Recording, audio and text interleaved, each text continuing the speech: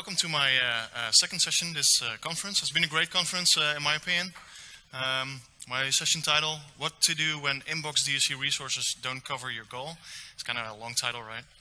Um, basically what we're going to do here is a scenario-based uh, uh, session where I explain what I had to do at this certain customer who was creating remote desktop services farms for a lot of their tenants. So there was a hoster uh, and they kind of had uh, a lot of manual labor setting up environments every time. Uh, and I came in as a consultant and I, I, had to automate some stuff for them so they uh, wouldn't have to do that by hand anymore. Uh, the agenda, uh, first I explain the scenario just a little bit more. look at the demo environment I'm going to show you so you have the, the base covered. And from that moment on, it's, it's no more slides, it's just demos. Uh, and if there's still some time left, I would, uh, I would like to show you some bad practices, not how not to do it. So company X, I won't call it by name because they wouldn't allow me to, I think. Uh, they create a lot of RDS uh, farms. Uh, basically, they're 99% alike, uh, with exception to the apps. So customers have different apps, but the, the basic infrastructural configuration of every RDS implementation is, is basically the same uh, with exception to some user data. So domain name is different, IP scheme is different, stuff like that. Um, so my task was to automate deployment and configuration. The environment you are about to uh, see and, and with, in which I'm uh, going to interact. We have a domain controller, it's already promoted. Uh, I have three member servers. One of those member servers will be a connection broker. And if you're not too familiar with how RDS is, is implemented, uh, doesn't have to be pre so prerequisite knowledge. so uh, just, just bear with me. Uh, we've got two sessions now, so basically those will be the host users will log into to start their applications, right? This is already being configured with a base set of, of desired state configuration, and we're going to extend the configuration script with uh, additional resources. Some may exist, some may not, um, and we will see how that goes. And there we go in the last slide.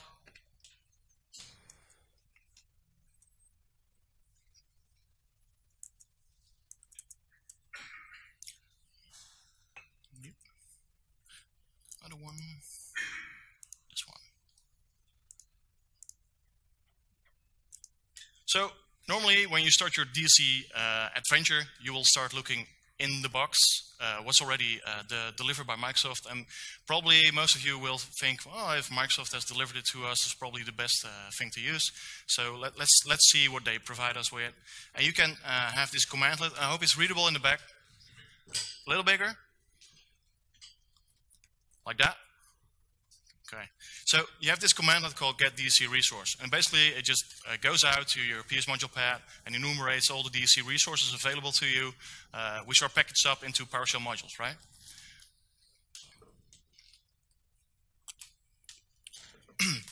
so you will get a, a nice list like uh, a file resource, a registry resource, a whole bunch of stuff. Uh, but if you look through that list, you probably won't see anything that deals with remote desktop services because that's kind of a specialized solution kind of uh, thing you need to build. And uh, what you see on this uh, computer, there's a couple of custom resources already available, but the inbox resources you could recognize, uh, they, they are coming from the PS desired state configuration uh, module, right? So we have environment, group, and, and, and, a bunch of others. But none of those are really uh, capable of, of configuring that RDS implementation for me. So what I will do is I, I, go and look out into the PowerShell gallery and see if, if there's anything there that, uh, which I can use. So uh, I use find module to query uh, the PowerShell gallery and I'm uh, giving it uh, the tag for DSC resource kit. So every other every month Microsoft will release uh, a new resource kit iteration uh, it will tag those resources up with this with this tag, so you know you're uh, basically uh, uh, setting a boundary to your search scope, so you only want resources they actually put out in the wild. And we got a couple of results, I hope, and we do. So we, we got the X Remote Desktop Admin uh, resource module, which basically configures remote desktop services uh, for administration. So uh, encryption or, or, not, stuff like that. And we got the, the one we are looking for, that's the X Remote Desktop Session Host. So this is a way to search the PowerShell gallery uh, to see if there's anything for you. And what uh, most people don't know, in my experience, is that uh, actually those objects you get returned from the PowerShell gallery contain a whole bunch of metadata. So, for example, uh, the project URI of such a resource module. So you could really easily find out where to go and look in, in the source code of this module without having to investigate uh, on, your, on your system. So I have nothing installed from this module yet, just head out to GitHub and uh, take a look there. So this renders really nicely, so uh, let's just skip the little piece, it's not really necessary. So I'm going to install that uh, resource module from the gallery by calling out to install module. So it will bring this down and install it in my C program files, Windows PowerShell modules directory, and we'll make it available through the local configuration manager. Uh, so it has access to it, and I can make use of it to uh, compile uh, MOF documents using those resources, right? So if everything went correctly, I now have a couple of DSC resources uh, available to me. And one of those resources I'm looking into uh, mostly is the XRDS session deployment, which is basically capable of instantiating an RDS farm. So uh, that was the one I was after, and this will probably help me. If I look at its syntax, you can see that we need a connection broker. That's a mandatory or a key attribute in this case. We need at least one session host. So we need to specify on this connection broker uh, machine which session host will join in the farm in the first iteration. And we need a web access server, but in my design, there's no web access server. It's not a required component, so why is this a mandatory uh, or a key property in this, in this case even? So actually this resource is not usable for me. It's, it, it's not in line with the scope of my, uh, of my project. So should we uh, just adjust this resource or maybe, uh, well, maybe search a little bit more? So there is this place on GitHub where Microsoft is gathering all those uh, uh, ARM templates. And those ARM templates, basically they, uh, well, mainly the ones that deal with VM deployments also have DSC configurations associated with them. So I have here this uh, repository that deals with an RDS deployment, for example. So if I go to that website and I hope this runs correctly, yes, you can actually see that we have this ARM template here called um, Azure Deploy.json, as they uh, all seem to, uh, to be known as. And we have this configuration.zip. So this resource in Azure will make use of the DSC extension, and the DSC extension will download this zip file containing all kind of artifacts. Uh, one of those artifacts will probably be that uh, XRDS session uh, deployment resource as well. So if I download that, that thing, explore it by unzipping it and unblocking it.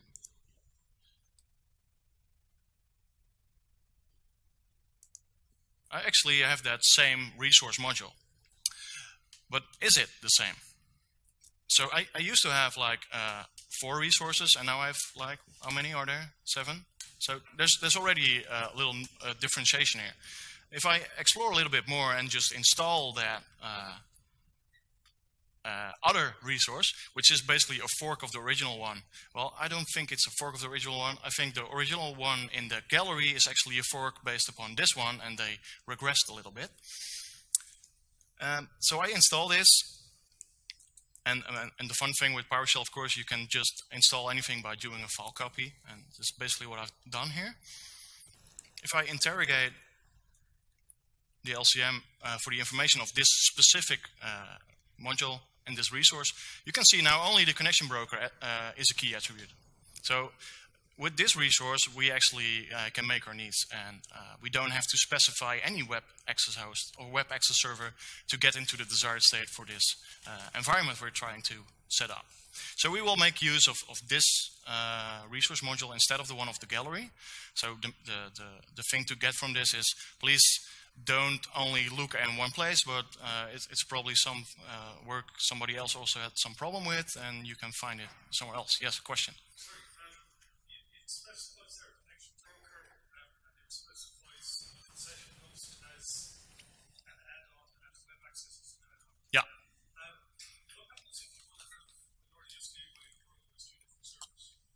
So the, the, the, gateway isn't part of the original RDS uh, uh, implementation, right? A gateway is always an add-on. First you configure the farm and then you add in a gateway server.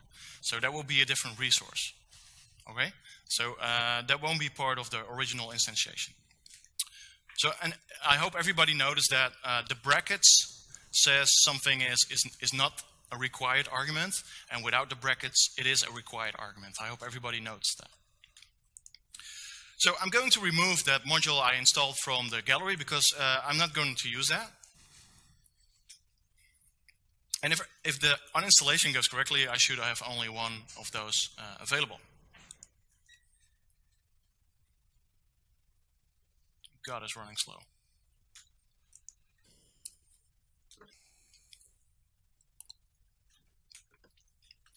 And it should be gone. And I should only have one.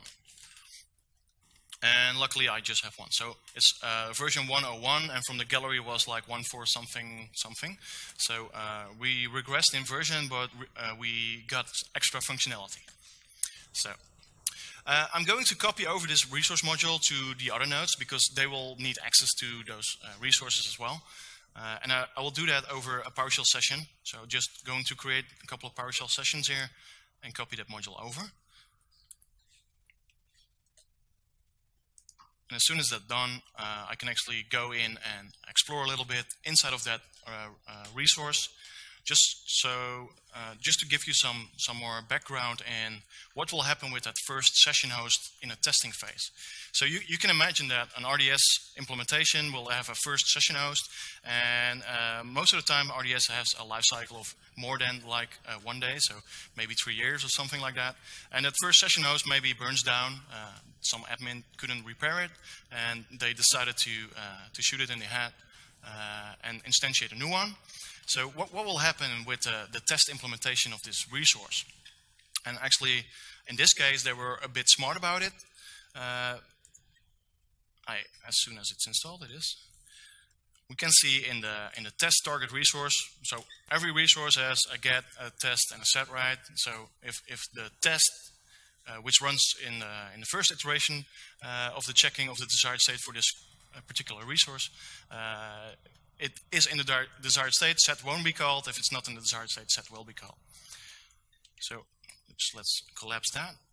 So in test, we can see that uh, well, it's calling out to the get target resource to get all the, the properties it needs, and it will check only for the connection broker to be uh, the connection broker it requires. Nothing else is actually tested here. So the session host specific to the initial deployment is never tested again to see if that session host is still there. So the current configuration data I used uh, for instantiating the current environment, so domain controller and three member servers, Uh, I use this, and I have defined uh, a couple of node names and a couple of roles.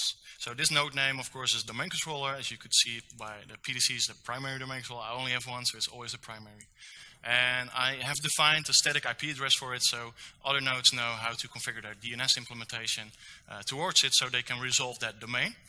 Uh, I have a connection broker with a CB role, and I have uh, two RDS uh, H roles, of which one is, will be the first RDS session host. So because always one of those nodes will be the first one, we need to speci specify which one that is, uh, because that will be joined into the form by the connection broker, and the rest will be joined by their own actionability. So they will get push the configuration or pull down the configuration in which they will join them uh, into the farm themselves. Uh, just for demo purposes, everything is uh, unencrypted, plain text, and we allow everything. Uh, we got some non-node data, uh, the domain name, which would be something accessible for every node, domain credential, which is really secure in this case, and a collection name, uh, which is, which is uh, uh, the, the, same value, of course, for every node within the same farm. Probably need that into memory a little bit later, so let's just load that up. And this is the current configuration. So I import a couple of uh, resource modules, uh, mainly X computer management used to join the domain for all the nodes and rename the computer names. X networking to configure the DNS uh, server stack or the, the IP stack to configure the DNS server, and X Active Directory uh, to instantiate that primary domain controller. So you can see here we use the where clause in the all nodes uh, to look for the role where something is equal to RDS uh, session host. And we will ensure that uh, remote desktop services is enabled. So all those roles and waiting for you has already been taken care of with, uh, with my uh, preparation. So you don't have to wait to see installing those uh, services. Some other features, the RDS RD service already on there and some tooling. For the nodes that are not a domain controller, those will have their IP address or their DNS configuration uh, configured as uh, the IP address of, of the domain controller. So you can see here we can substitute information based upon a role definition uh, in other role configurations. Uh, and we won't validate that just to make it a little bit quicker. And we wait for the domain to be finished or else we cannot join a domain that's not there. And after that domain is there, we, we know we can how to join it and uh, which credentials to use uh, for that joining process. Uh, what else? We have the connection broker. It already has some Windows features installed, the connection broker features. And uh, there's this empty piece here that will be used a little bit later. So we're going to upgrade this now because now we have that X Remote desktop session host uh, module available to us. It's still red squiggly because uh, when I fired up the ISE, it was not there yet. So I fixed that. And what we will add is uh, the connection broker configuration. So we will make use of that XRDS session deployment resource.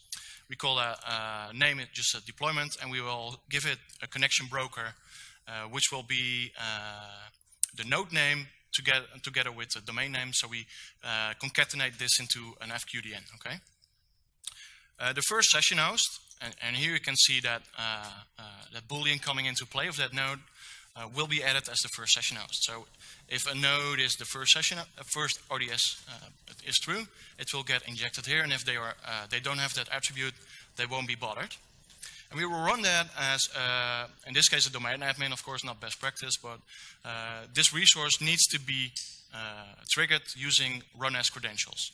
It cannot run using local system because it makes use of PowerShell workflow under the covers, and it goes out and branches off to all these remote hosts. So uh, you need some credentials uh, to run that. After that, um, deployment is done. We actually in, uh, create a collection, basically using the same parameters, uh, and we specify the collection name, uh, which to create, and that's about it. So let's let's do that. And we'll figure out after the RDS form has been uh, created, we will uh, uh, miss a couple of resources and we will create those uh, in the, in the, on, the on the next node. So I just compiled uh, three couple of MOF files and I'm going to remove the session host ones and just trigger the configuration of the connection broker just to save a little bit of time. The other nodes didn't get a new configuration out of this uh, document, so it doesn't really matter uh, if they were applied or not. Only time-wise, this makes a difference.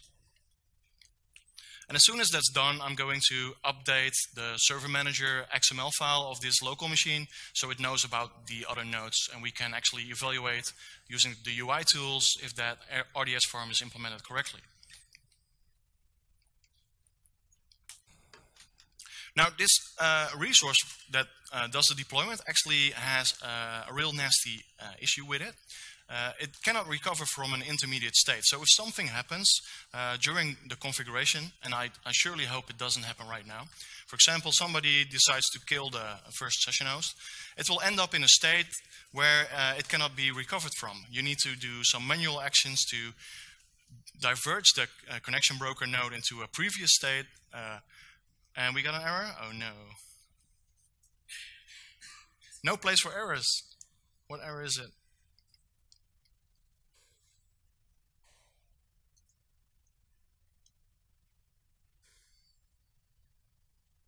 Reboot spanning. I was sure I had that dealt with.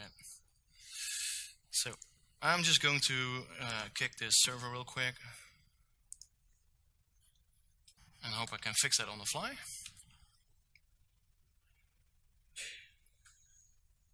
I assure you, I disabled all the Windows updates and stuff, but.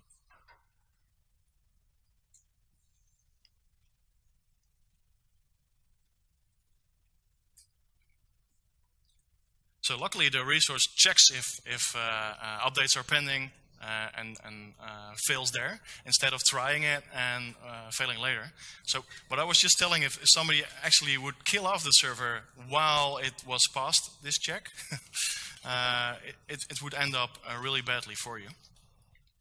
Basically, you would be required to uninstall a whole bunch of roles and configuration artifacts not easily uh, found because it's not documented really well.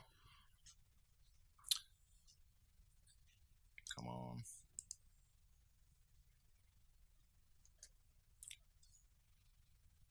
Ah, it's down. Good. And of course, I need this configuration in place to move on, so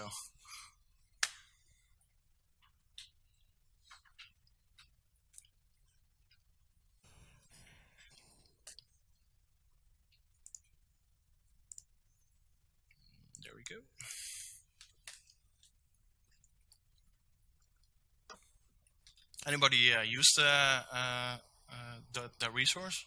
For no? Nobody creating RDS forms?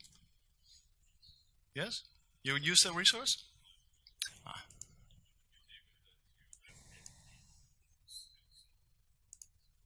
Okay. Yeah, I know. I know it's, it's normal, but uh, in my preparation, I made sure I rebooted already. But apparently, no effect. So let's log in to have it accept full screen as well. Sorry about that.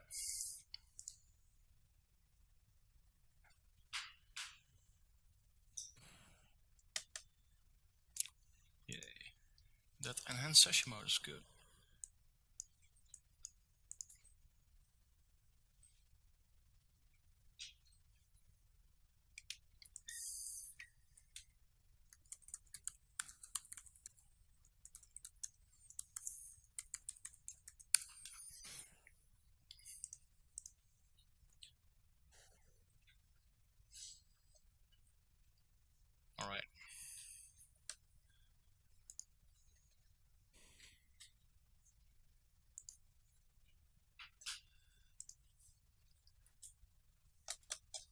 Never trust Windows, right? I don't need updates. No, please.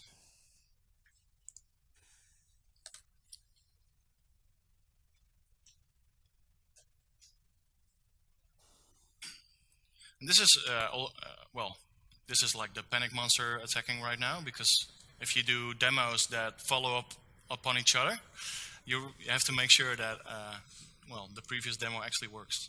So. Uh, desktop. It's not there. Where is it? Oh no.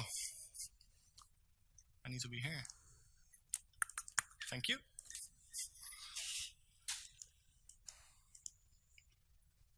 Let's try that again. And hopefully now it works.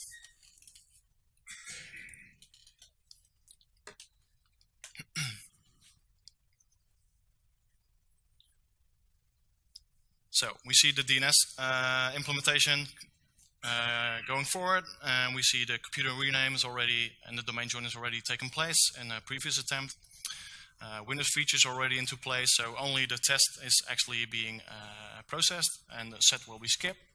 And hopefully now the deployment or, uh, resource actually does its job and uh, instantiate that RDS form. And we can see the information that's being passed Uh, by the verbose output here. So we can see the CB01 will be connection broker. And this is this really sucks. So another one that needs reboots. What? No. Yeah. No, no, because the, the computers were already joined and they were already renamed. And it's just a bunch of hooly because of updates, which are supposed to be disabled.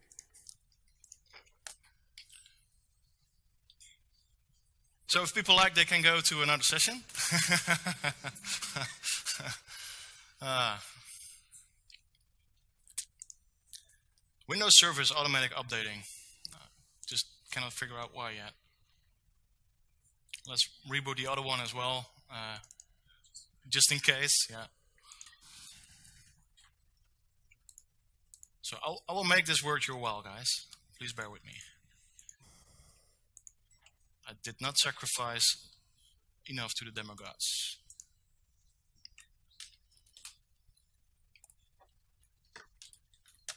And probably we can see my disk IO spiking right now, so. Uh -huh. Yeah, that would help. No. I, I, didn't want to have uh, many dependencies on on internet, but yeah. Yeah, just don't look at that. It's, uh, this kind of sucks. There we go.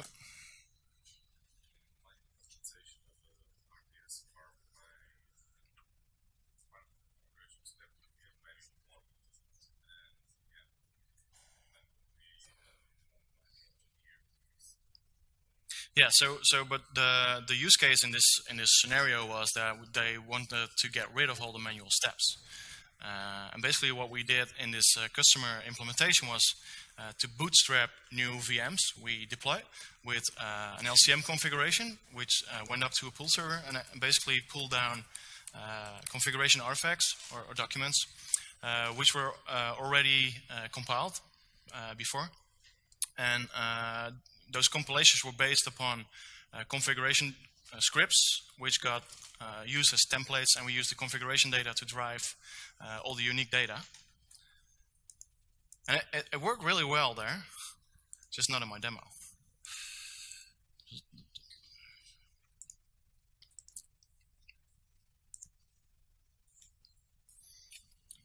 Let me check if that other node is up. It's up. We need that a little bit later. Okay.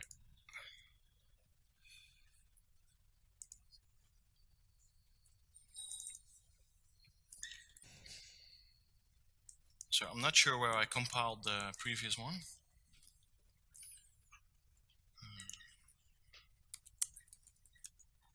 Ah, of course I compiled it into System32. That's something you should do. so let's try that again. Ah, it's, it's walking faster. So the, the delayed experience was, of course, Windows updates. And here we go. So another attempt. It's calling into a new RDS session deployment, which is a, a, wrapper function around uh, internal PowerShell module that's uh, driving a PowerShell workflow implementation. Which is, uh, by the way, if you're if you're not uh, en-US cultural uh, in your uh, in your country, it could end up in a really bad state. So RDS session hosts, uh, most, most of the times I experience them. Uh, in my country, they are implemented as Dutch servers. And apparently that, that internal remote desktop module doesn't know about the Dutch culture.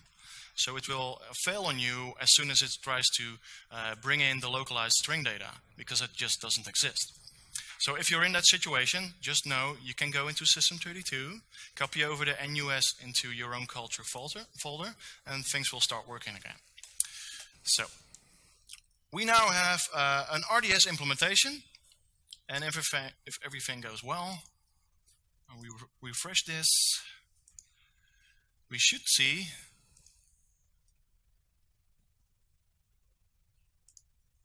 and I should have added that server one and two.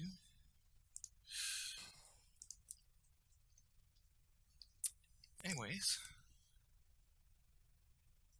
yeah, there we go. Let's look at that later. It's not really important. It was a visual representa representation of uh, of that RDS implementation. Uh, let's move on and maybe look at it a little bit later because I've already lost too much of the time.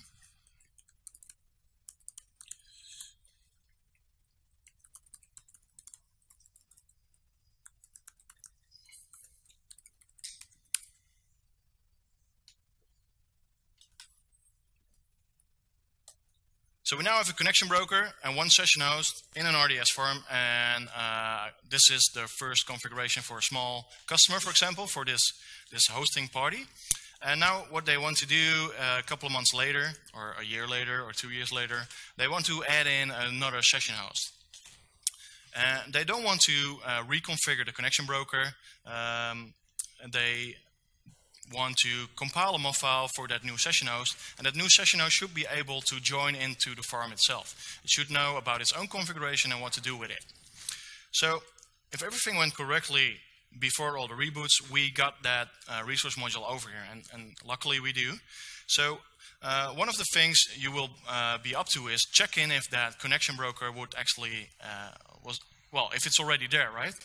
And if it's it's it's not already there, it, it's impossible to call into uh, a configuration where you would be joining uh, a farm that doesn't exist.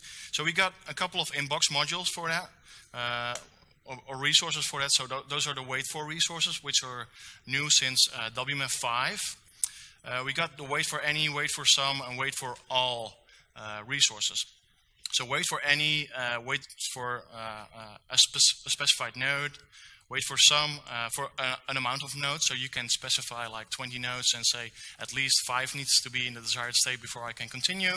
And we got all, wait for all. So if I specify an array of nodes and all those nodes should be in a desired state, well, for that specific resource before it can go on.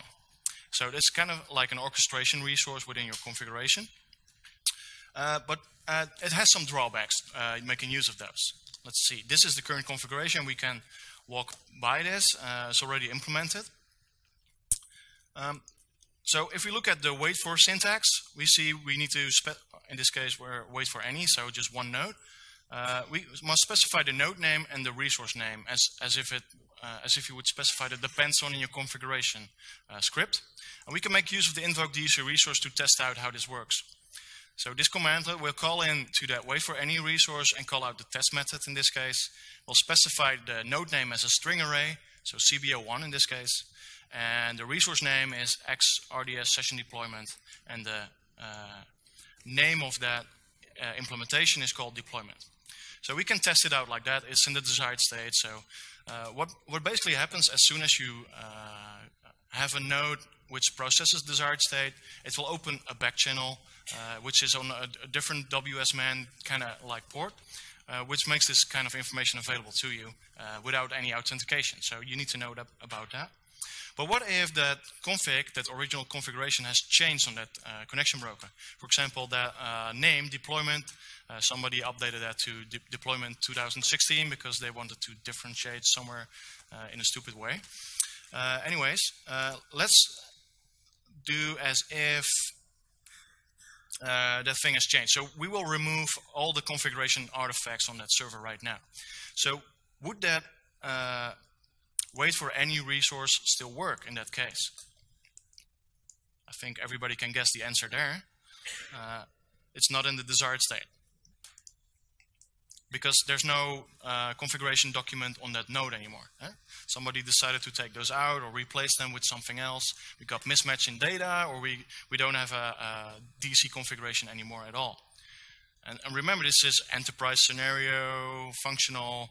Uh, we need a functional way to check if that uh, farm is actually there and if a collection is there.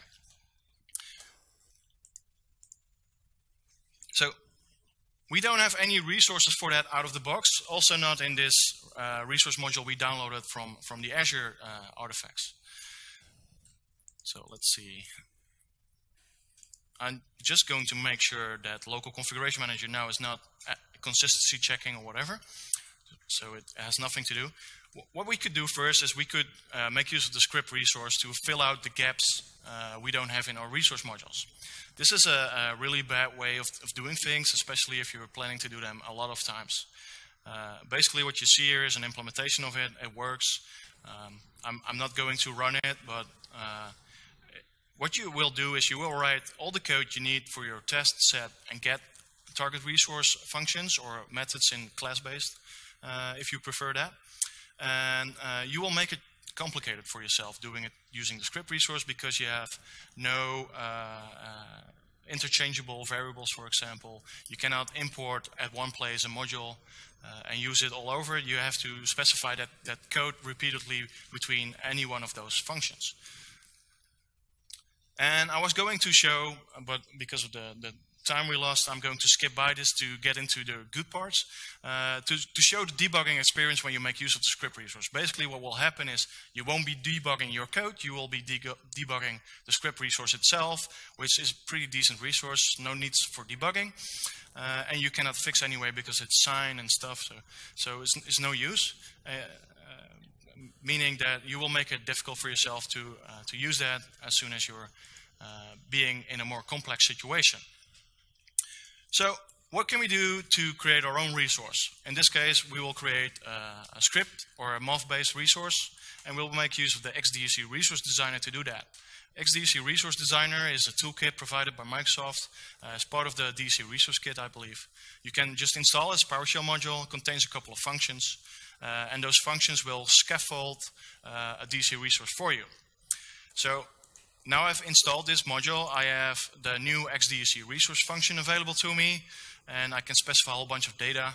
Uh, for example, uh, the name of the resource I'm creating, and I'm going to create a wait for resource. So, but in this case, functional and not against uh, LCM. And we will create it in a certain directory, in a certain module, and the module uh, will be psconfeu, have a friendly name, and contains a bunch of properties. And those properly, properties are actually created using the new XDSC resource property function, uh, which will um, uh, make sure that, that things are done in a correct way. So I'm creating a connection broker uh, property of type string, and it will be required. And I'm going to create a role property of type string, which will be the key. So this, this uh, uh, the, the user will provide uh, one of these uh, uh, strings here, and it has to be unique within the configuration artifact because it's the key. Uh, not necessarily the best key in this case, but uh, you can pretend it's, it's a good one. So if I run this, actually the folder structure and all those artifacts will be created. And if everything went correctly, I now have uh, a resource available for me, although it doesn't do anything yet. And we can edit that resource and we get uh, into a scaffold uh, code template. So we get all those functions, get target resource, set target resource, etc. And it will be exported, but there's no actual code in, of course. Microsoft didn't know upfront what you were trying to do, right? So um, to make that easier for me, I actually already created all the code here. I'm just going to copy paste that in.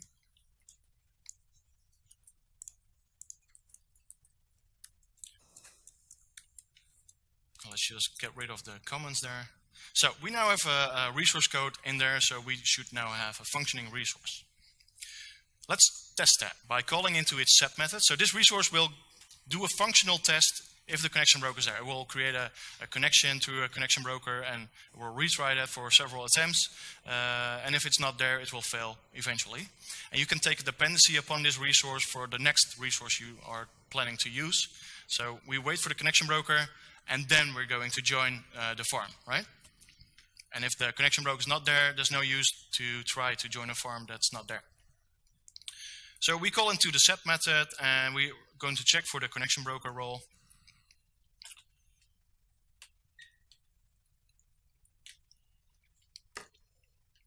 And by the way, invoke DSC resource is your friend when you're uh, uh, creating modules yourself because it's a really quick way to just test stuff out, but also to start uh, your debugging uh, experience.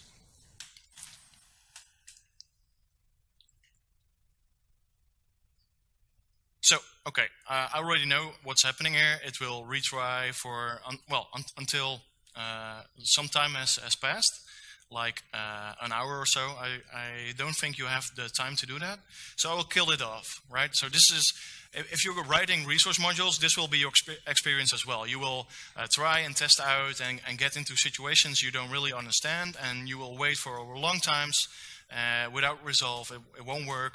So how can we troubleshoot this uh, situation? So that local configuration manager in the background is still performing this operation, so I'm going to kill it.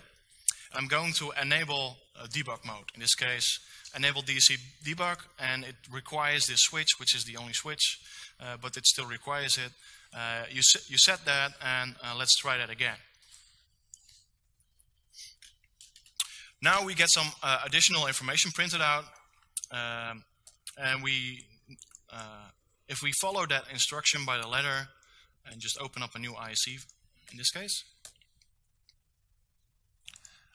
we paste that in here. What we will do is we will connect into that process that's hosting the local configuration manager right now, and then we will debug the run space it's using to uh, to run that um, uh, that function that is being called. And uh, right away you can see it open up the resource code, and I, I shall zoom that a little bit for the people in the back if my control starts working. There it is.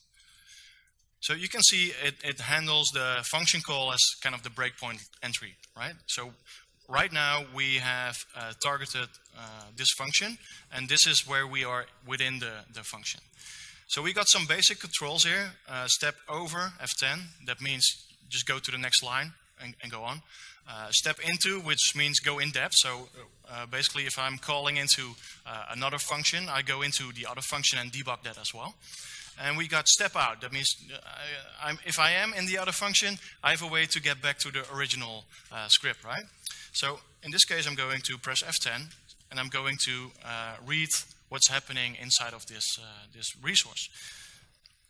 And press F10 again. And we can see here the uh, role available, and we can hover uh, on top of that. Role available is false. This actually called into a test role available function, but because I pressed F10 instead of 11, uh, I skipped debugging that function. That, that function was, uh, was skipped. And uh, let's see, that's this function. No, that's this function. Test role available. And I shouldn't have done it. I should have pressed F11. So uh, uh, here you can see the bug. Uh, it's connection broker and not connection brokered. So I, I, I fat fingered this implementation and I should fix it right here. Okay. So as soon as you have found your bug, you can detach here by pressing Ctrl C uh, no, see, or typing detach.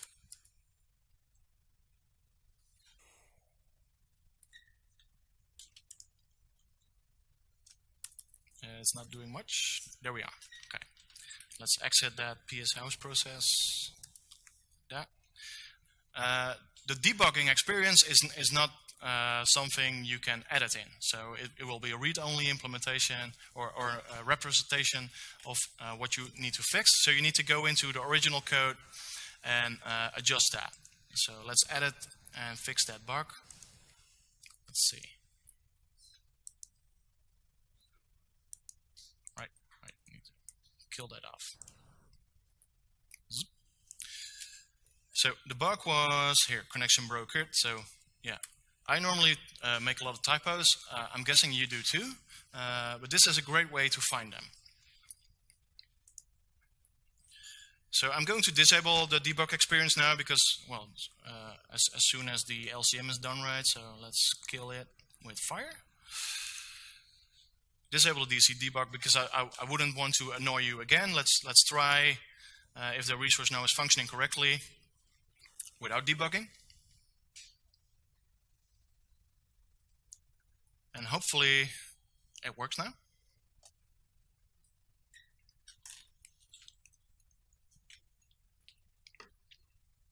And there we have it. So um, it is completed. Okay.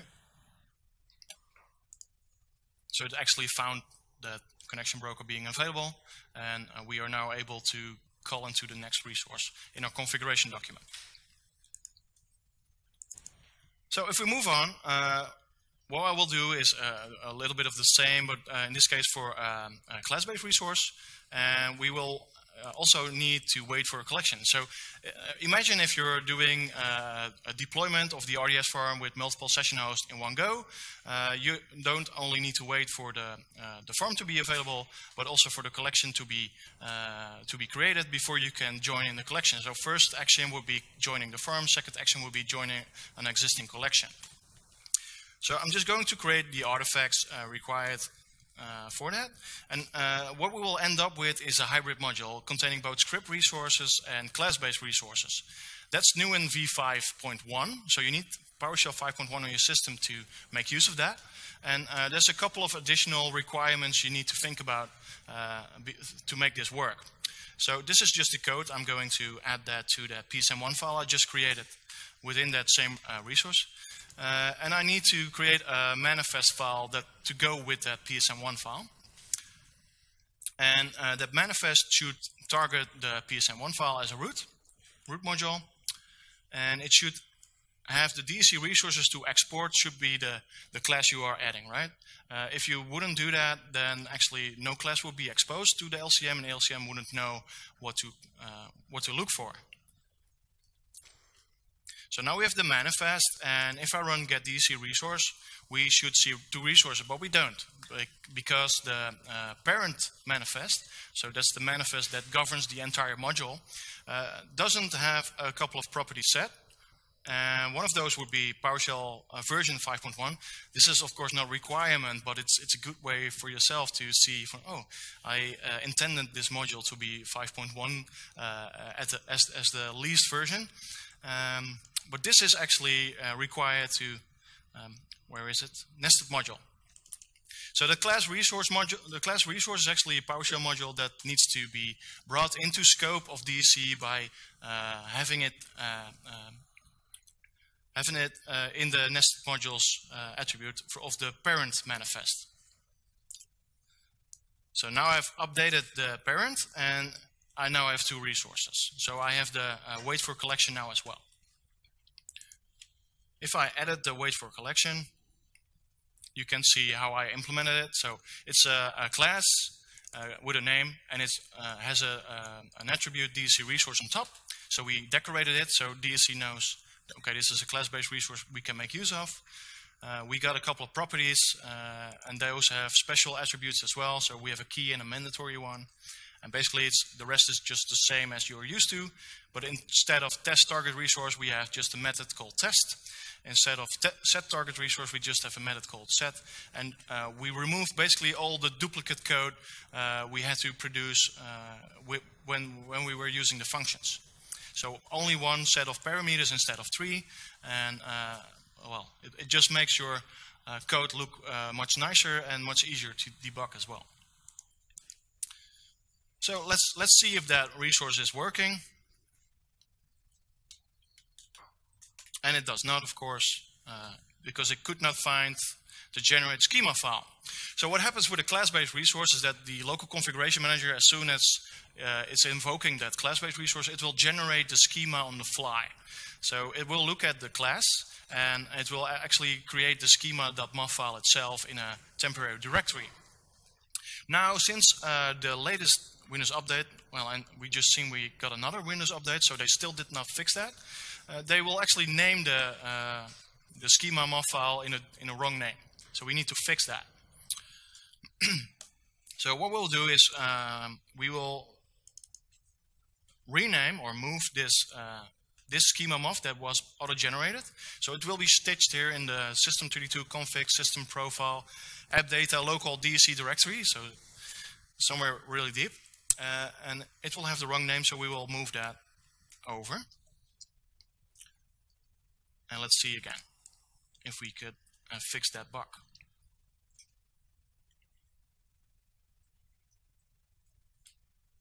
So now it works, right? So it, this is just uh, something you should know.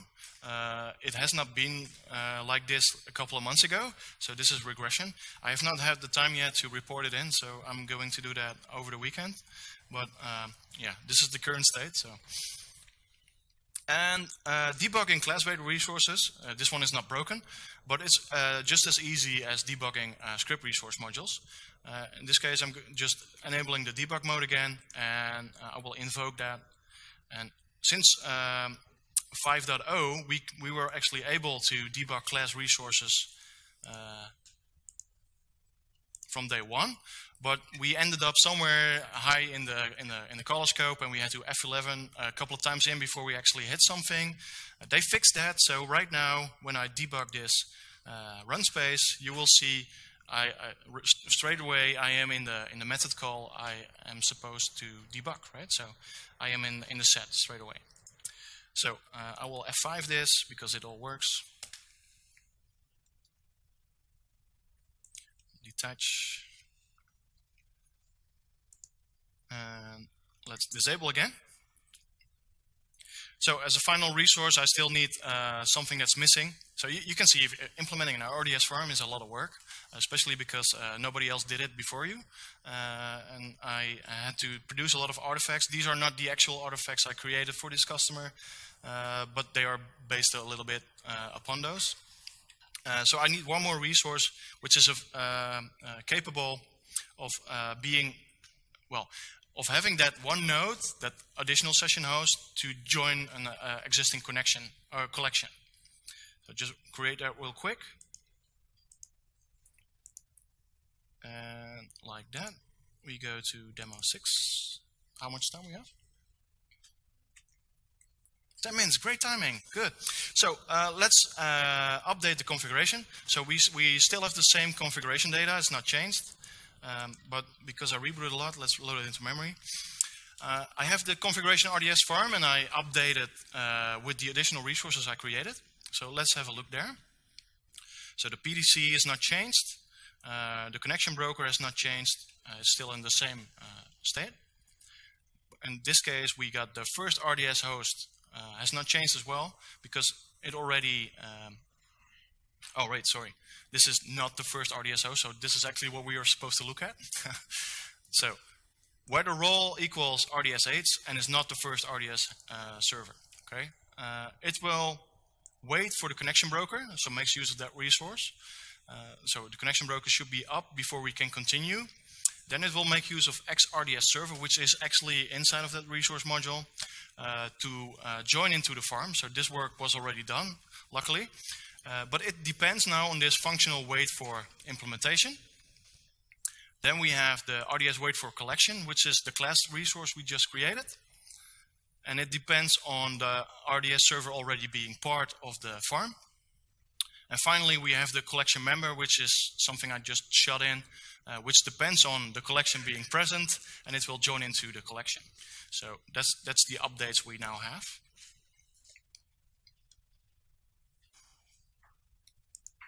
If I load that into memory and call it, and just remove everything that's going on on this local machine. Let's see if it compiles.